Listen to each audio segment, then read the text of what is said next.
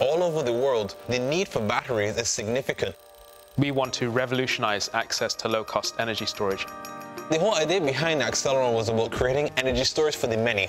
The way we do that is we take end-of-life lithium-ion batteries from things like electric vehicles, consumer electronics, medical batteries, and we turn them into an affordable battery. We take it from the car, we create something that works for the home. We would take that battery, replace the cell that needs replacing, and then put it back out into service. One of the real tragedies with lithium-ion recycling is they typically have upwards of 70% of their health remaining. A lot of this waste is exported or crushed or burnt as a disposal method, but it still have a lot of value as a battery. 50 kilograms is the amount of CO2 we could reduce by reusing some of these old lithium-ion batteries. We want to help develop societies by providing access to good, low-cost energy storage. Something that impacts the lives of people, that's excellent.